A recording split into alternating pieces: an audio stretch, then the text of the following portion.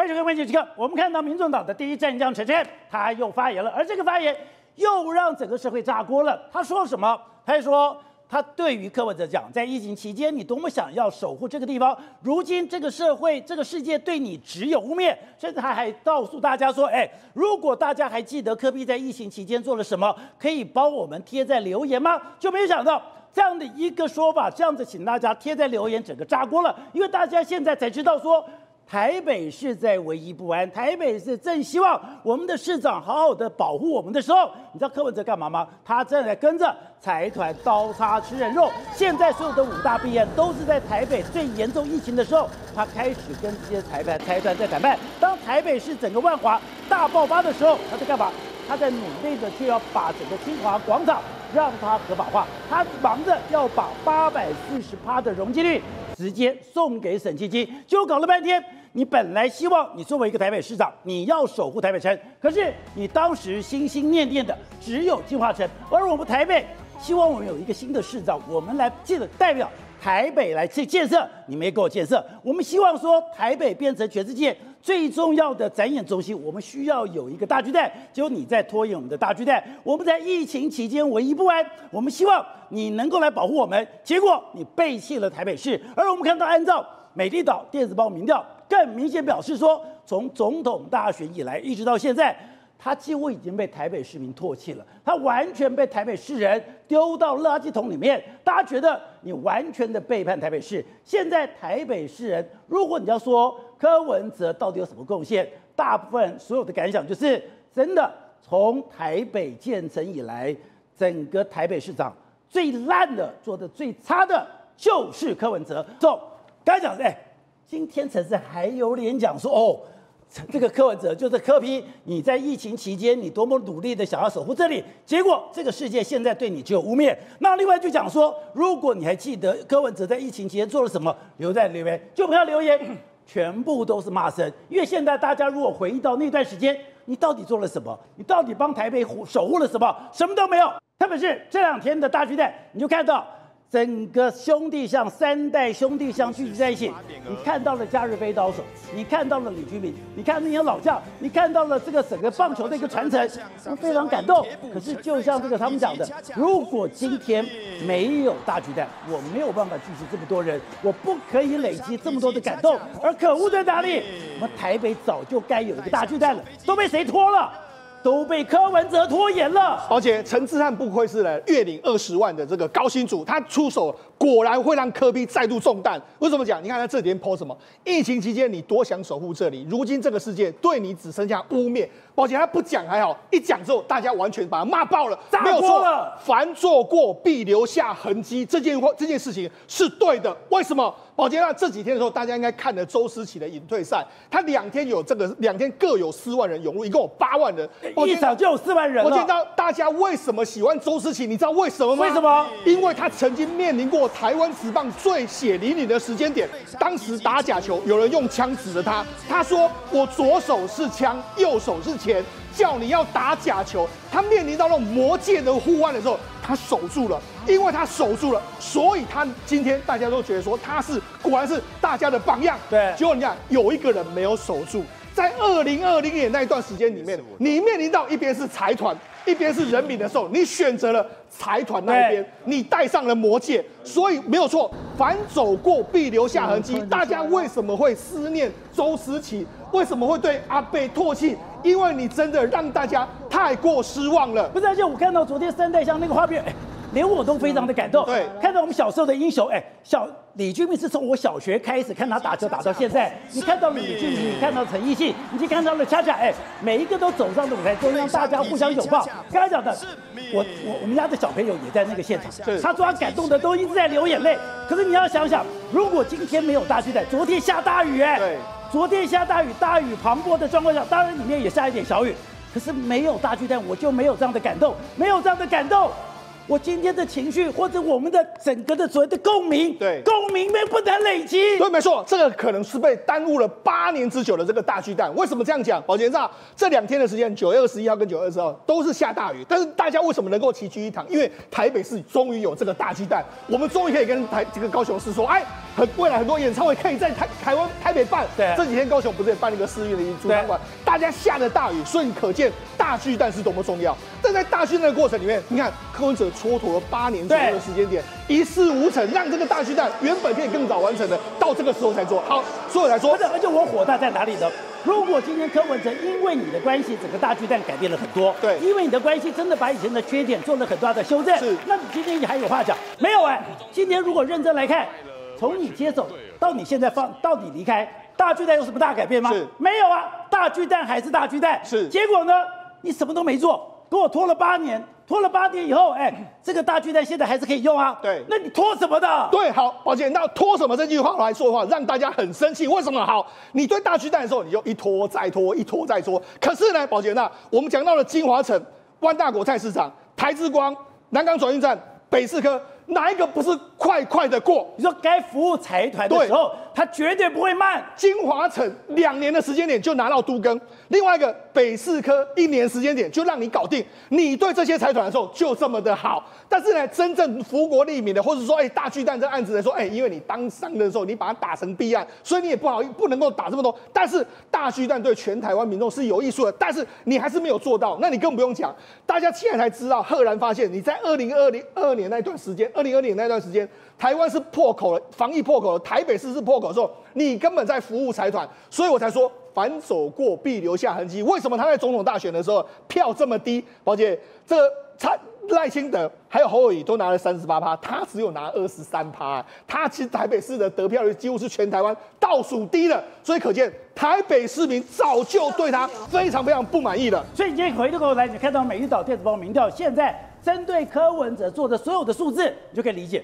台北人现在非常厌恶柯文哲，柯柯文台北人根本觉得你根本就是一个垃圾的市长，你根本就耽误了台北的八年。第一个就是这种的情绪放到了台湾民众党，在台北来讲，台北人对民众党的反感度最高，好感度最低，甚至你再去问柯文哲在台北市任内有没有涉及贪污，刚才讲认为没有的，台北市最低只有二十一点九，这个认为说他应该被起诉的，应该被收押的，哎，台北市的比例最高，就是台北市人的主观期望百分之四十五点五，希望他被收押。而且那是什么？那是一股气啊！对他的气没办法发挥的时候，就会在这个民调上面显现出来。这是七月多做的民调，你看这是什么？如果他在任内被收、被起诉或是收押，在赖清德总统任内被起诉或收押的时候，台北市是最高的，四十五趴，其他都没有过四成。然后的认为他没罪只有两成，所以显见。大家在台北市，你干了什么东西，大家完全都是非常清楚的、对他的这个民调反感度都是在台北市都是数一数二，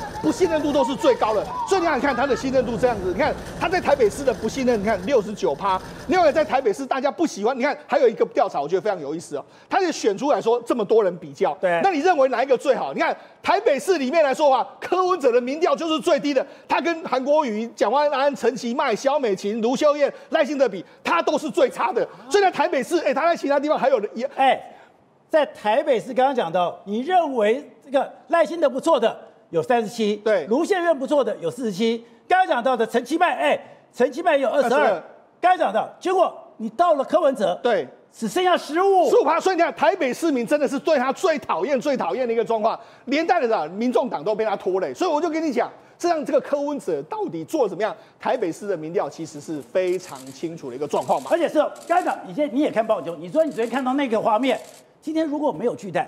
这个感动就没有办法续期，没错没有昨天的大巨蛋，这个感动没有办法表现出来。我自己都觉得，哎，这样这些人，哎，都是我们小时候看到从这个青棒、青赛、青少棒、青棒一路打下来，然后打下了中华职棒，对就看到这种，哎，吕金明，我多久没看到他了？没错，你就知道说昨天这一这一幕让我们知道什么展演场或者表演场巨蛋是多么重要。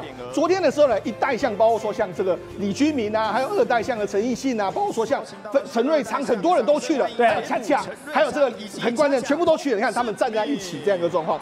这个周思齐说什么？今年是我到兄弟这支球队第十六个球季，而且这么多人来我现场为我加油，我以前从来没有想，没办法想象。为什么？因为台湾以前没有这样的场地。你看，两天四万四万人，一共有八万人涌进。那你看，在这个当场还可以做非常多的灯光效果，大家完全齐聚在一堂的这种感觉，我就跟你说，事实上没有大巨蛋是办不到的。那我们知道，事实上从一九九一年就开始要做这个大巨蛋，一直到现在，中间经历过非常多波折。但是我跟他讲，事实上拖累大巨蛋时间最久的人是谁？柯文哲，恰恰就是柯文哲。所以跟你讲，你看你任内来说话，要建设没建设，没有捷运，然后大巨蛋也被你耽误了这个八年时间之久，然后要招商也没招商，那留下什么？留下只是你更多的五大弊案。所以我才说，反手过必留下痕迹。为什么你的民调在台北是这么低？这不是没有原因的。所以昨天如果没有辜仲亮那个演说的话。昨天的是圆满的，是完美的。那胡总，对不起啊，你话讲太多了。对，没错。好，那我们就讲嘛。事实上，在以过去一段时间里里面来讲的话，你看我们在这几年的时间点，台北市、新北市、桃园市、台中市，还有台南、高雄等等六都，这几年在拼什么？这几年恰恰好就在拼招商。你看大家拼了多厉害。你看我们我们不要说什么，宝球，我跟你讲。桃园市好了，郑文灿不是之前也被收押吗？那人家至少在拼这个政界，他怎么拼？对，我们记得他还弄一个单一窗口，他每天哎接的电话是国外的厂商的电话，虽然说他可能也有在做一些可能违法事情，但是至少他还做了这些事情啊。但是我觉得最可笑的是，到了柯文哲的时代里面，我的招商成绩居然输人家。对，后来因为北市科的关系，他的招商成绩出来是。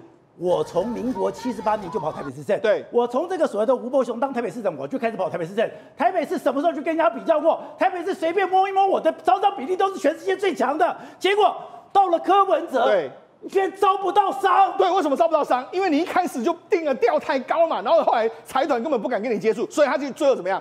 因为没有财产跟他接触，而且他这个人呢，有时候可能说话不算话等等，很多财产不跟他打交道，所以最后呢，宝杰那我们看过去，我觉得有一点，我觉得非常的心酸。为什么？你看到台北新北市，人家招商是什么？Google 啦、亚马逊啦，什么国际大厂；台中市是美光啦，台南什么 AMD 啦，或者说像包括说艾斯摩尔，高雄也是这样，IBM 什么？就我们招商是什么？星光，我们星光，危机。对，这两个财团，我看了觉得，哎。台北市是首善之区，你为什么招商是这种？我们不好意思说是阿萨布鲁了，但是的确就是这个样子啊，就物以类聚啊。所以我才说跟你说嘛，这个招商成绩怎么样一回事？但你招过来的成绩是怎么样的状况？好，你你任内留下啊，我招商很顺利的这个状况，问题是到目前为止有成功吗？没有成功，所以搞到老半天，我才说八年的任内真的是完全蹉跎了台北市民。好，小妹。这两天，当然很多人看到大家觉得都非常的感动。我再强调一遍，就是昨天那个三代下，还有昨天周志奇的那个告别，大家觉得，哎，我们总算熬过职棒那个最烂的日子了。我们总算是开始，大家开始可以聚在一起。那我们可以跟我们讲，我们的光荣感、我们的共鸣、我们整个整个大家属于在一起的情绪。刚刚讲到，你从李居明开始，到了假日飞刀手的陈奕迅，然后一个一棒接着一棒，连掐起来都帅。所以有人讲。如果你大巨蛋早点弄完，那恰恰的告别是一定会更风光，大家一定会更感动啊！你在搞什么？哎，这八年八年，刚刚讲的，如果大巨蛋真的在这个柯文哲手上，真是烂到不行，那真的是因为你柯文哲改善了，现在才可以用。大家没话讲。照你所说的，你也当台北市议员那么久了，今天这个大巨蛋从柯文哲拿到，跟柯文哲拿这个离开，根本没有什么改变，完全没有建设，而且晚了八年。昨天的感动，晚了八年。我跟你我讲我讲个门道给你听哦。他送进来的时候要求林周明用火星都达不了的标准，就不让你疏散，主要疏散不让你过。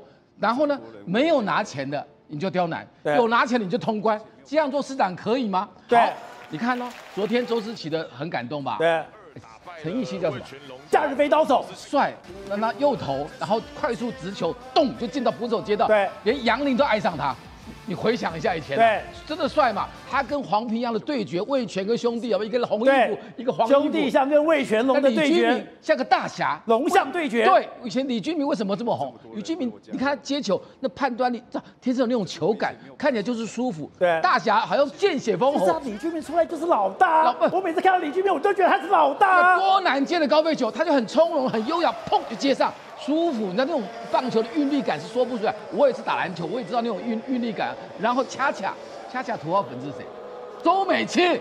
周美青看到恰恰出来的时候，那个笑的比见她老公还灿烂，好不好？她看她老公不会笑的。对，是这样子。就她只要恰恰有比赛，她都尽量都会去。她是她的头号粉丝。好，这样的感动的场面，这样凝聚台北市人心的场面，为什么等了晚了八年？好，那这个这个之后完了之后呢？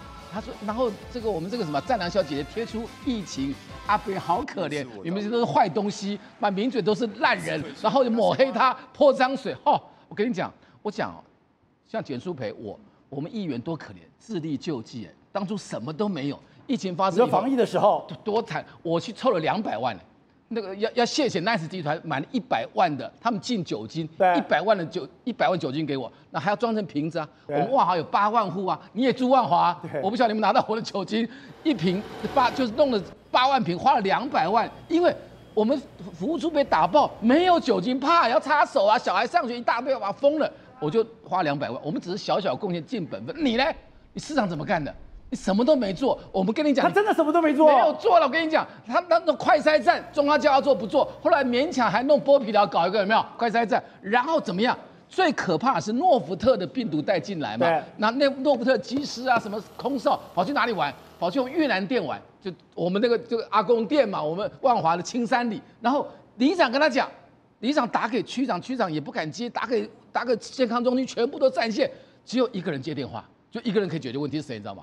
黄珊珊救救人。你说当时柯文哲把全权交给黄珊珊，全部交给黄珊珊，那是二零二一年的时候，那是如火如荼的时候。好，然后怎样呢？我那他说你一定要去筛，我们跟他讲，我跟徐立信讲，你一定要赶快把那小姐抓起来隔离，这些会传染，不听。然后不仅传染了，然后知道我们有几百家阿公店了，那警察找到几家负责人，二十三家，那其他的放牛吃草。那台万华一个里一个月死了八十七个人，万华。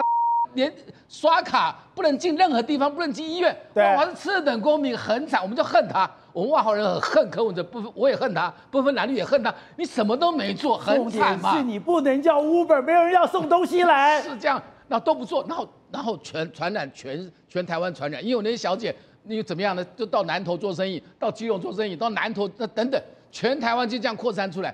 台北市没有守好，你知道，台北市那时候守好的话，不至于全台湾死那么多人。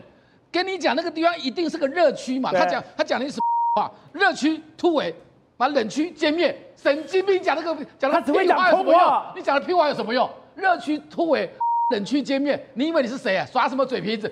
好胆呐！你现在在我们整个疫情爆发的时候，你曾经讲过说。这样讲的，你说柯文哲当了几届的市长，两届了，他还不知道有这个东西吗？为什么没有人处理？你当时讲哦，你放任在这里面，根本就在。红灯区已经变成了一个世界级的笑话，而且彭博已经讲得非常清楚，你当时就已经点名说，哎，现在这个阿公呢很严重，这个红灯区很严重，这一定要小心注意。就柯文哲有小心注意吗？当时刚刚讲的徐立信已经提醒他了，当地的里长已经提醒他了，很多人已经提醒他了，他恍若未闻，他每天干嘛？去这个所谓的这个这个跟微信小姐唱歌吃饭，然后他每天帮人家算说，哎，我要给你多少的容积率，你可以才可以赚大钱。不，我觉得他当时的情况也是手忙脚乱的哈。但是我们现在反过来看起来，搞清楚怎么回事了嘛？他有一个重心，他这就刚刚其实小平讲的很对，他把东西交给黄珊珊了，对，交给黄珊珊才是真正的噩梦的开始嘛。所以他对整个万华地区的话，当然是失手了。对，因为他本来就不太了解万华的生态嘛。对，因为万华是一个非常重要的一个特殊的一个历史的传承生态。万华有阿公店，也有它历史的传承啊。所以万华的警察分局的分局长也好，万华的里长，那整个有个特殊的一个环境跟特殊的一个背景传承。化好不好？那个他哪里懂万华？不，就是我现在讲的概念，就是当时我们在回头现在看那个万华的灾区的形成的时候。那个时候不能不是有简单的一个说啊，这个现在已经这个万华万华县中标了，对，要把它保，要把被热区怎么管理？但是可是当时负责任的副市长，如果我今天恍然大悟嘛，是黄珊珊嘛，那黄珊珊什么都不知道啊。后来我们现在黄后来想起来哦。黄珊珊确实有经常出没在这些会议室上啊，对。但是那整个来讲的话，有一个很重要的概念嘛，就是那时候的医疗的紧急医疗的管理嘛，你医疗资源能不能够投入在万华嘛？如果那时候投入，然后逐期的追踪，整个掌握好的话，其实我们讲善战者无战功无勇名，就善战者你要在事情还没发生之前你就把事情给搞定，你要去准备。我们再讲到徐立新在之一年前。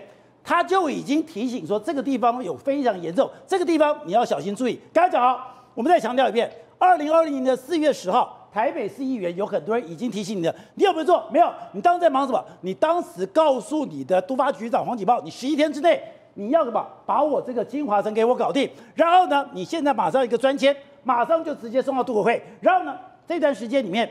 你有认真去处理，说要有疏散呐，不要这样子人与人之间的太紧密啦，或者做任何动作没有？而且之前已经有八大行业，已经有特种行业感染了，当时中央也说，哎，这个东西要小心哦，要给隔离哦。他有处理吗？他也没处理。他的问题就在都没做。对他为什么通通没有处理的原因在哪里嘛？因为他有处理，他交给黄珊珊处理了嘛。而大家对柯文哲有一个错误的认知，认为说他是个医生。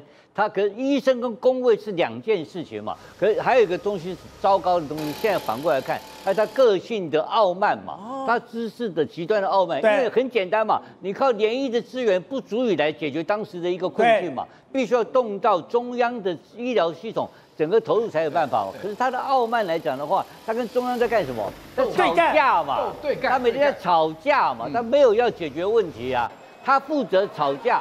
然后黄珊珊负责在里面不知道干什么，乱搞，一起乱搞。他们对整个事情是状况外的，然后又不愿意跟中央去求救。对，这个荒诞无稽的程度，让你大家匪夷所思。原来搞了半天，我们才知道，搞了几年，因为他跟这个事情没关系啊，没关系，他跟疫情无关嘛。他他在那边骂人吵架，他负责推卸责任嘛。结果当然搞到后来。后来的祸害到您，我们看到万华有部分出现，好像在南部嘛，哈，对，南部的一些什么特别计程车司机出现一些万华的一些代员跑到那边去了，那当然已经是已经整个都扩散开了。但最荒谬的事情，我们现在对照现在这个时刻的对照表来看的话，再回到陈志涵讲的，大家要感念这柯文哲的德政嘛。现在我们发现他在干什么嘛？他干嘛？在陶朱影园唱歌嘛。这这他才是问题的真相这个时候撕开，其实我们讲整个 COVID-19 的时候，我们都非常关注。其实 COVID-19 里面，我觉得谁最厉害？我觉得陈其迈最厉害。他这个所谓的绝境境外，他在第一时间里面，罗毅军告诉他的时候，他马上就跟境外讲，然后我们把他封住掉。还有一个谁？我觉得很厉害，王必胜很厉害。他就像海星一样，战必胜，攻必成。碰到最大的危机的时候，都是他干掉的。他们两个之后就没有了。就你看到，哎，陈世忠被大家摆，反正你以为说，哎，陈世忠要快筛没快筛，要疫苗没疫苗啊，这个这个什么什么什么都没有，就搞了半天，不是他没有，柯文哲也都没有。柯文哲当然没有，因为陈其迈当时他跟院长的关系，他本身是对工位，他是医生，他真的已经运用到所有可能的所谓的这个，这个叫做神经末梢的神经，我全处理了，他把所有可能的资源。完全不按照法规的，就直接投入到里长到整个，包括那个连这些西医、中医的诊所，对，他通通直接就投入进去了嘛。所以他的那个面部部署的那个面面啊，的密度非常的非常的紧密嘛。可是在这个时候来讲的话，科比在干什么？他只靠联医嘛。他只靠人家联医不足以 cover 整个台北市的每一个角落的医疗所的需求嘛？不是，而且他跟基层医疗也没有互动。那个问题在哪里？所以我们现在今天才发现问题的核心啊，是他根本在这边束手无策，而且他完全就是交给黄珊珊处理，这才是核心问题。就是说柯文哲无能是经过我们事后多年来检验的时候，他当时是两手一摊，他根本没有在做处理嘛，他没有在处理，即使他。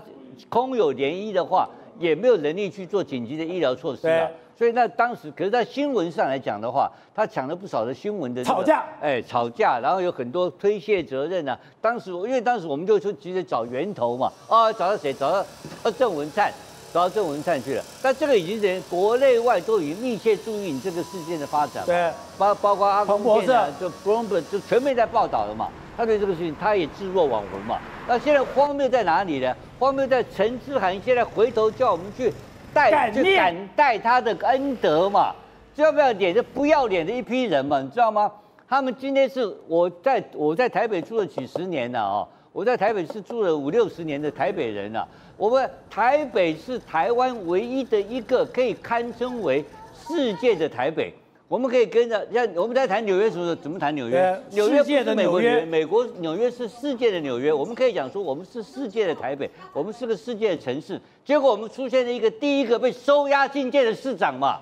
你看看这个多丢脸，脸就丢到哪外国去？全台湾最大这十年来最大的政治上的冲击，跟在在国际的版面上是什么？是我们的台北市长被收押进监，这才贪腐，然后变成一个贴上历史的耻辱柱上，这才是真正的可可恶又可恨的地方。好，师妹，很多事情只是要拉长来看，你才会看清楚当时的风面貌到底发生什么。我们现在刚刚讲到，你现在如果没有发生金华城，我也不知道说你在搞金华城的时序。就我把我们说，我们上礼拜你把你搞金华城的时序，跟你整个疫情的时序一搭上来。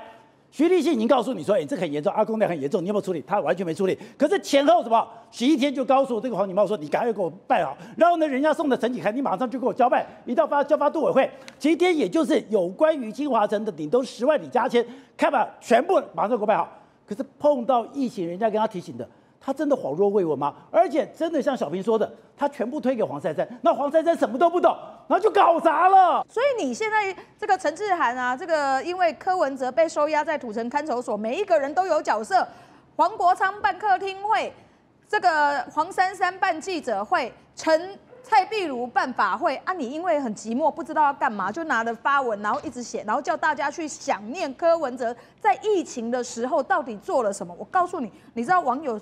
整理的超精彩的，他说啊，二零二一年四月的时候，万华这个茶艺馆哦大疫情大爆发是四月的时候，那时候柯文哲在干嘛？那时候柯文哲正帮金华城在保在找专家学者开会啊，在正在开第一次的都委会啊，要准备让他准用都跟条例送给他二十八龙奖啊，接下来呢？大家在打疫苗的时候，你知道高雄啊？那时候为了要冲大量接种的时候，让医让所有的人进去做好之后，医互动，让大家打的速度变得很快。对，有没有？然后柯文哲搞什么？搞在每一个行政区只能有一个大型的接种站。我们文山区设在哪里？我们的文山区设在万方高工。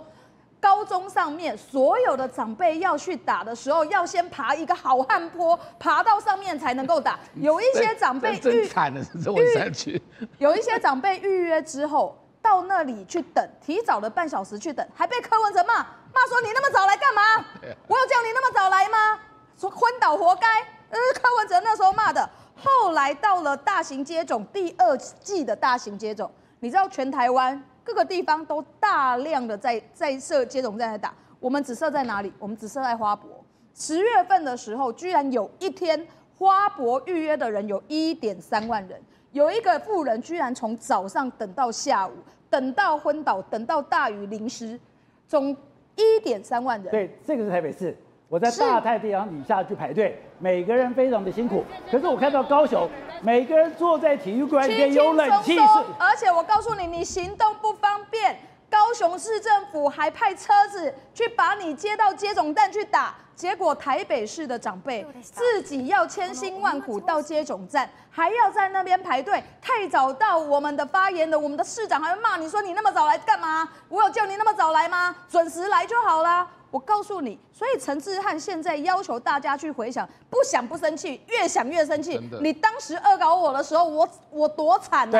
让全台湾都在好好的打疫苗的时候，我在我在台北，身为首都资源最多的地方，我居然要看台北市政府市长的脸色，要看陈志汉的脸色，我才能够去打疫苗。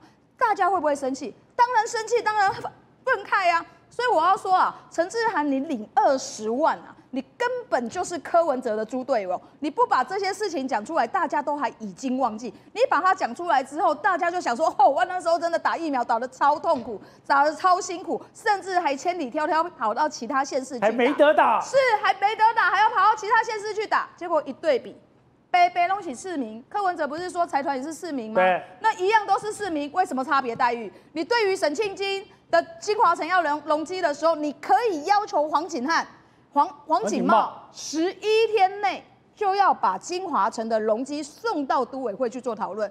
我所有的长辈，我只要要求一个地方让我好好的打疫苗。柯文哲觉得这样太浪费，我觉得是真的对所所有的台北市民来讲，真的情何以堪。所以那个啊，吴董做的民调啊，真的就是贴近台北市。台北市所有的市民对于柯文哲在台北市。做了八年，但是凌虐了台北市民八年这件事情，都都非常愤怒。但相对于他对于财团，现在包含金华城、包含北市科，都是在疫情期间却可以受到柯文哲这么特别的对待，台北市民更愤怒。是为什么现在大家对柯文哲的愤怒没有因为说你已经收押进监了而就降低？现在如果你真的再回去看到柯文哲在当台北市长这一段时间里面，整个台北市或者整个台湾对他的不屑、对他的愤怒是一直在累加当中。刚才讲的是在疫情期间，我们只是讲说哦。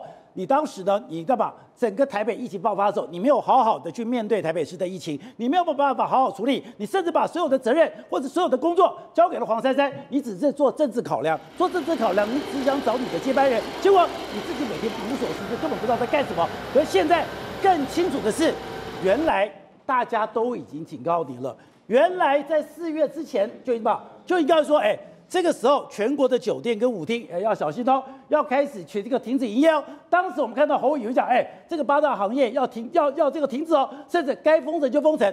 柯文哲只会做一件事情，他就开始嘲笑别人，又嘲笑东，又嘲笑西。封城，那你告诉我怎么封？封城难道要跑跑跑找军队吗？就搞了半天，他发现不对的时候，要说封城的是谁？是他，说要赶快把八大行业的人要停的谁？也是他，因为什么？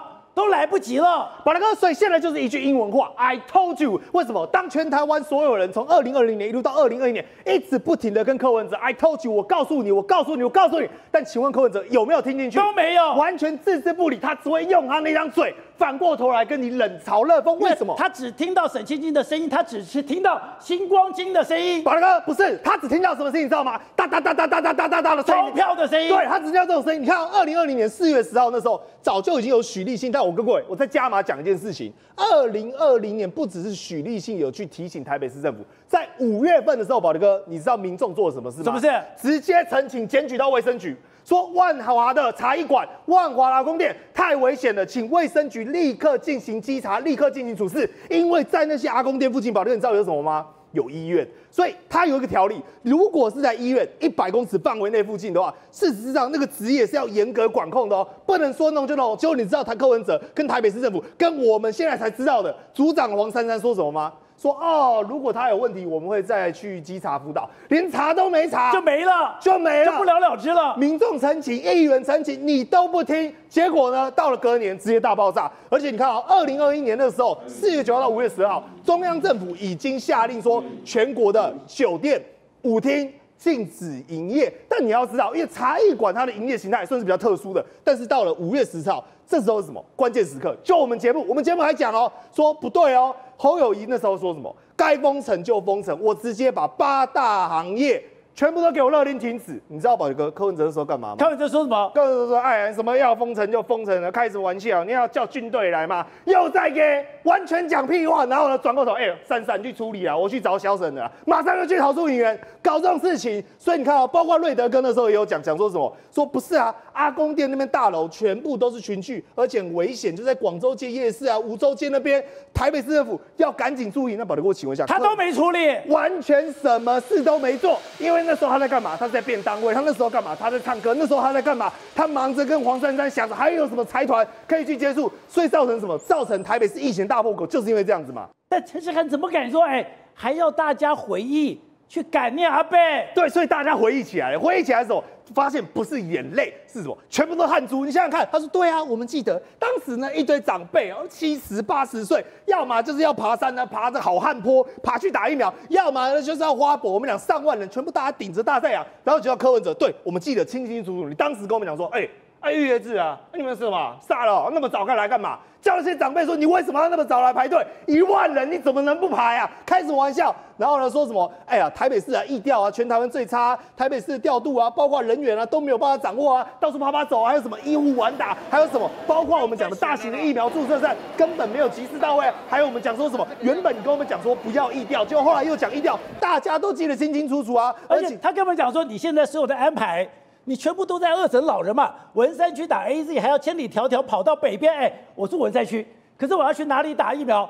跑到花博打疫苗？对，没有错。所以那时候大家就想到这个画面，来，二零二一年六月十五号就是这个预约制哦，各位有预约哦。柯文哲怎么奚落他们的？嘴巴又来了，说，嗨，开什么玩笑？预约制那么早来派对干嘛？哼 笑死人了，还笑这些老人嘛？结果你看啊，这些长辈，宝德哥，你有没有仔细注意到一个现象？有人坐轮椅，对然后你旁边都还有看护，哎，所以他们身体状况很不好，他们就担心自己的那个我们讲的啊健康安危的问题。那因为打不到疫苗，所以当然有机会，全部人都去花博啊。但花博我们大家有去过都知道，几乎都是半开放式的户外空间，所以就在那边每个人都短两瓜、剩两瓜。我们当时还特别介绍以色列的方式，以色列的方式是他们也有像我们是我们的健保卡一样的东西，你输入你的健保卡，你是几点几分在什么位置，在哪一排去打疫苗，清清楚楚。你台北市有吗？你台北市都没有啊。对，瑞宝德哥那时候为什么会这样子？那时候大家早就叫柯文哲说：“嗨呀，你应该要早点设什么大型的疫苗注射。”就那时候柯文哲，你知道他回什么吗？他没做，他回说：“啊，疫苗不疫苗还没有到，我设那么多干嘛？”哎，不是啊，人家不是说不是其实不来，而是什么事无有以待之对啊。你应该提前先把这些准备准好。备好啊，对，而且刚才我讲，他连自己跟都自己可以吵架，为什么？因为那时候大家自己跟自己吵架。对，大家不是一直讲说要疫调吗？就柯文哲，你看到第一时间他说什么？他说什么？哎呀，传统疫调不切实际啊！你病例这么多，哎疫调这要干嘛？就把那个你看哦，时过境迁，隔了一阵子，到六月的时候，他说什么？他说要了，我们现在重新要开始要进行疫调了，我们叫这个什么冷包围圈、热包围圈，开始在发明名词，然后不好意思讲意调，知道吗？因为太丢脸了，等于自己己打脸自己。我觉得他在讲很多事情的时候，好像完全对不对？事不关己。讲到士林有长照医院出现了严重群聚感染的时候，他就讲，呃，很多人都在潜伏期啊，如果因为快筛没有揪出来啊，再传染给护理人员啊，最后就传给一个股票，就这么简单。但你不是、你不是医生哎、你也不是旁观者哎、你也不是名嘴哎、你是台北市长哎、你要解决问题、怎么讲的云淡风轻，跟你一点关系都没有那，保德哥因为真的就跟他没关系啊、跟他没有关系他。因为黄珊珊在处理的、啊，他的唯一有跟他有关系，你知道是谁吗？就沈静清，还有星光集团。你看啊、他那时候讲的多过分了。他说人家叫他提前射，已经又来了。I told you，善意劝导你。他说我地狱学专业人士，我跟你讲啊，可不可以我很清楚了，你少来跟我这一套了。然后跟他讲说，哎呀，你这个东西为什么长照机构发生那么大的群聚？他跟你讲说，哎呀，这些人呵呵一狗票传给一狗票。大家是人命关天，那个时候每天都有人在上面，结果你跟我讲一狗票，好，小黑，刚才讲谁？你现在讲，我才知道说，他当时全部都交给黄珊珊，那你交给黄珊珊能够处理就好了，你就可以知道说为什么当时完全荒腔走板，而且完全讲错话。全部交给黄珊珊，而且黄珊珊在在两个地方是最支持他，一个是里办领长，就是所谓的民政系统；一个是五十几个市场，他真的跟他感情是如胶似漆。你交给黄珊珊，黄珊珊怎么处理嘛？黄珊珊不是这一行的嘛，而且他一个他跟财团谈事情，他的时间都放在财团身上。第二个，你交给黄珊珊有坏心眼，让黄珊珊二零二二十一月二十三好选举。对，你今天防疫跟选举是两件事嘛对？然后，然后同时呢，在所有的建议。难怪说，原来第一时间的时候，他不是交给医护人员打疫苗，他是交给市场跟里长打疫苗。是这样，是这样子啊。然后里长先打等等，总之他整个配套是荒腔走板。然后中央那时候跟陈志忠别苗头，那时候陈志忠民调九十几趴，你记不记得？那私下跟人家说，哎呦，个陈志忠凭什么这样子？我比他厉害多了。哎，在人前人后跟人家讲这些话，就是陈他是酸葡萄，他嫉妒他，所以他讲什么我就吐你，你知道？我他说我还瞧不起陈志忠，哎呀，我跟你讲，我我多厉害，我是台大的教授，他是牙医啦。他说陈志忠牙医了，在公馆里面开业了。他这么傲慢，陈志忠是台北医学院，他是台大，他就是酸葡萄，就很恨陈时中。谁比孔雀开屏嘛？对谁比他红，他就恨谁。所以中央很是很多事情跟他讲，他就不做。中央也有跟他讲，那个那个时候，而且不跟他讲说你一定要赶快弄快筛站，什么大型的都要弄，他就不弄。哎那，当时真的有人提醒，甚至有人直接写信给这个所谓的台北市政府，然后就提醒你说这个东西很危险，阿公等会报，他完全不在乎。所以就是当时所有的讯息有没有人提醒，都有提醒，所有的讯息我们进去有进去，可是有没有在听？柯文哲都没有在听。广州就那一块我的选区嘛，结果叫哦，后来不是爆发了吗？那徐立新讲他也不听，我讲他也不听，我我们要什么资源全部都没有，束手无策。结果怎么样？就他叫警察局把万华副市长叫来，哎，事情闹很大，后来蔓延开，他说来交出名单，负责人找出来，负责人找出来就是那个店的五百个店呢。所以你说柯文只只找了每次23个人，他每次都是火烧屁股才解决问题。是这样子，一他只找了二十三个，那其他四百多个全部是黑户。对他们要不要火？要火吧？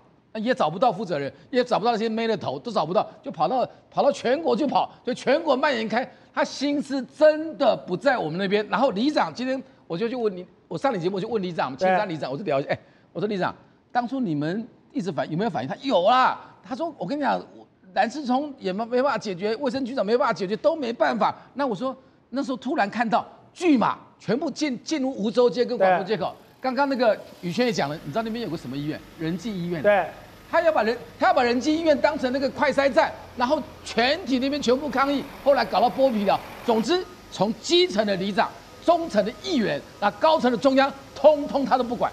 好，宇轩，你如果看到哎。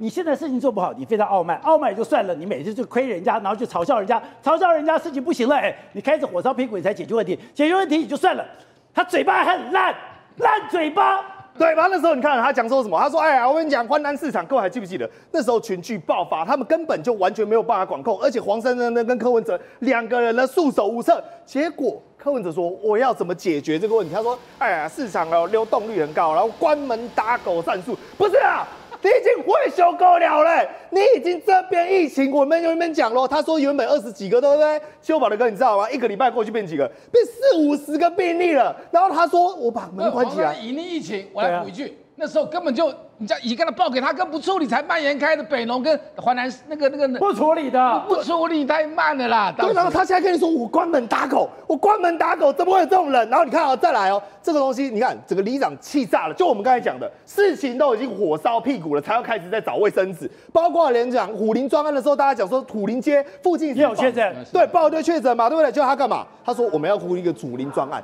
我们开始又来了，把这个跟刚才讲的一模一样。哎，照册啊，赶快啊，这册这个册子赶快照给我，你这照给我。结果他们找到记者说：“哎，开始玩笑，哎，我们你要我现在快筛啊，对不对？你现在要我补筛，那你之前说不补筛，现在要，然后马上要我把名册照出来，我怎么可能照到嘛？然后你看哦，柯文哲甚至还在讲风凉话，说没有，然后讲市场会这样啊，没办法，因为有跟教科书不一样，知道吗？市场哦，就是台湾哦最主要的感染源，宝德哥。”他讲的很像什么，你知道吗？我还以为他坐在我旁边呢。你评论员是不是啊？你要处理啊！你还跟我讲说什么？哎呀，对啊，我讲啊，跟教科书不一样啊，讲这些东西。所以柯文哲在这段期间，他只把这个疫情当做什么？当做跟陈时中之间互相互杠，跟中央互杠，一个疫情攻防的政治工具。他心里面从头到尾没有认真去想这件事情，所以才会连什么？最后讲一点，原本那个时候是讲说不对，你应该是要先怎么样？先用快筛。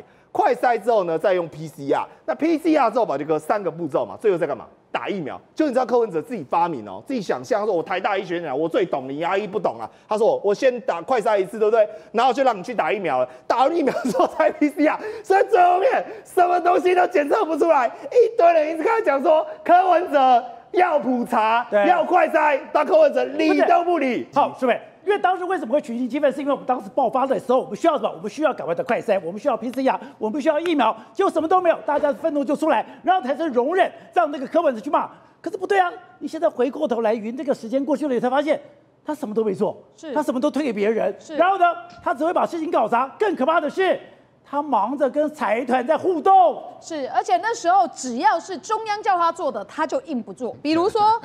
那一年五月的时候，北农是不是发生群聚？对，开始有案例出来的时候，中央王必胜到了北农去视察之后，说全部北农应该全部要做 PCR。对，他们怎么怎么怎么做？不要，我快筛就好了，我就快筛就好了。然后我打快筛之后嘞，我开筛做完之后送大家去打疫苗，还群聚把大家全部这个关在一台车子里面，全部送去。结果有有被感染的，没被感染的，全部都被感染了。弄得乱七八糟，然后那时候从五月一直从北农，然后就一直延，一直一直延烧，一直延烧，后来延烧到环南市场。本来只有在北农哦，因为它的处理不当，对，所以让北农延烧到环南市场，连那个秦秦秦那个续续情的市场，家禽家禽的市场也全部都感染，发烧了，还说你也不管他，让他继续在卖东西，所以还得了所以后来那时候变成是中央到了北农去成立的所有的 PCR，有没有？王必生那时候带了带着北农进去，那时候那时候这个呃家禽市场的同仁才跟我讲说，看到王。王必胜，大家终于安心了，因为为什么？因为大家都很担心，本来自己没有被感染，被柯文哲这样硬搞下去，全部都感染了嘛。所以说，你现在回过头来，我现在回过头来看，我真的觉得有两个人非常重要，一个人就是陈其迈，在一开始的时候，真的这个所谓的预预料敌机先先处理了最机器的部分，还有刚刚讲当时的经济部长，很快的我们就该讲该买机器的赶快进去把口罩赶快弄上来。后来我觉得王必胜，当然他后来发生一些事，可是。当时在打仗的时候，所有的硬仗真的是王必胜打的，我们也要真的要去给他一些肯定。另外，我觉得罗毅军做的也很好，可是其他人把都甚至乱七八糟。所以你看嘛，王必胜对于北农这个事情到了现场去视察之后，你知道台北市做什么吗？台北市是说，呃，你们怎么可以去？没有通知我们，你的又又又又在这个呃找我麻烦的。所以你知道吗？黄珊珊呐，居然在那一年呐六月的时候，突然就讲说有有一个消息出来，就是说陈时中打电话给黄珊珊，结果黄珊珊不接，黄珊珊居然还讲说接有什么用？我接你电话有什么用？所以你看看嘛，那当大家都在防疫的时候，柯文哲跟黄珊珊在干嘛？他在干嘛？搞政治嘛，全部在搞政治嘛。我中央越要你做的事情，你越不做，所以在。北农刚开始的时候做 PCR，他不要做 PCR，他要做快筛。后来整个疫情在二零二二年的时候大爆发的时候，PCR 来不及了，要做快筛了。他说不要，我要做 PCR。所以全部都是为反对而反对嘛。但这一件事情对整个防疫有帮助吗？没有帮助。而在防疫上面。他们在跟中央作对，而在对财团的部分是沈庆金要五毛，他给一块。沈庆金说赶快帮我送，然后他就跟黄锦茂说要十一天。我，然后沈庆金说我要保障十二万平方公尺楼地板，然后柯文哲就送给他二十 percent 的容积奖励，准用都跟。沈庆金说：“我十月十九号看好要动土了。”柯文哲十月十八号就送给他建造。为什么柯文哲对财团却是这么的特别，对一般的市井小民却是这么的刻薄？不是，我们大家讲啊。不是一家人，不进一家门，龙交龙，凤交凤。其实他讲的，你不同的等级，你可不可以讲你的交往的对象不一样？哎，柯文哲，你好歹也是首善之区，你是个都首都是这个首长，首都市长照样讲，你都是跟台湾最拿得出来最大的财团互动，就搞了半天，他跟谁互动？跟沈清基互动，搞了半天跟谁互动？跟这个星光的这个吴东进互动。那那沈清基更不开了，沈清基之前不是讲吗？欠了六十亿，六十亿里面有二十亿是跟林炳文借的，就这什么？哎。这是他跟林炳文借的借据，二十亿。对，还有他跟律师的这个后面还有跟律师的文件呢啊。这个是林炳文他们的同事就就呃提供给我们制作单位的嘛哈。哎，等一下，我我第一次看到借条 这么正式，还有正式借款凭证，根据第五二零零四号法律胜利。这是澳门写的。对对对，澳门澳门是这样子，他是赌钱赌完之后，马上就是签单就过来签字嘛。啊，签字当天结算完了以后，如果输掉的话，他就会给你签一个正式的签正式的这个借条。对，所以就是这个就是，那这个这他后面有框一个所谓的林炳文的意思了，因为林炳文也要跟他们的总那总账来对账，你知道吧？哦，所以他有那总账谁批的？林董批的，志哥批的，对啊，所所以你就知道他那那这个后面是谁呢？后面他们就是太阳城集团。那当时太阳城集团的规模有将近一千亿港一千亿港币的，就一千亿人民币，是非常大的规模，你知道？而且他是一笔借五百万，借三百九十三万，借三百万，五百万，两百万，一百九十万。非常清楚的罗列下来。对，然后林炳文有跟我讲过一句他很干的事情，就是说啊，他说小，他说这个沈董当时啊赢了很多钱，赢了，赢了带走了，这输的欠条。所以我要跟你解释说，他们当时输赢是上百亿的。呃，上百亿台币算是上百亿的，对，所以我们今天在谈什么？呃，什么？呃，六百万呐，什么？他一千五百万呐，那都是小儿科啦。对，所以光是这些单据你就知道哈，这个就是。所以沈基金赌这么凶啊？不，这个累积这个很大了。当时那个，因为他的他的他们所谓的贵宾厅的赌博嘛，那贵宾厅的赌博有分两种，一种就是对赌厅的算账。那赌店算账看起来一天可能是一万两万的啊，或者十万二十万，但是实际上它有所谓的奥赛，它有这个场外，场外有加注的话就乘十倍二十倍的，所以它这个看起来今天输的是十万，其实二十倍下就两百万三百万，这是港币啊，不是开玩笑，非常大，所以他最后只欠他二十亿台币的。啊，所以那是最后的林炳文跟他之间大约二十亿台币，所以他们的保就给我们制作单位看到原始的这个凭证是长什么样子啊？那可是这里面有一个问题在哪里呢？他他他没有办法，因为他们有诉讼嘛。可是沈庆金现在目前名下没有资产，对沈庆金所有的这个鼎悦公司啊，所以中石化啦，还有中工啦，名字不是他的，通通不是他的名字，他的扯到最后就是所谓的海外境外公司。所以这个东西来讲的话，所以沈建金在台湾的名下是没有资产的。那这一次检调有查出来，将近有九亿多的公关费领走了嘛？那领走的话，他绝对也不会放到他的他的名下。所以领走之后，这个九他的九亿，你要你所以我们可以比对一下，沈建金的手面是非常大的。他一搞，当时在这个高光时刻，在赌场里面输赢是百亿的进出了，在那时候八九亿台币，然后送给这个是柯文哲啊，再来讲的话，其实是九牛一好。